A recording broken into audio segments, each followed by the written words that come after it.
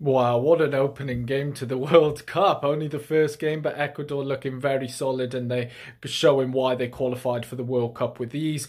Qatari goalkeeper Al Sheeb just punching the ball away, never catching it, looking very uncomfortable.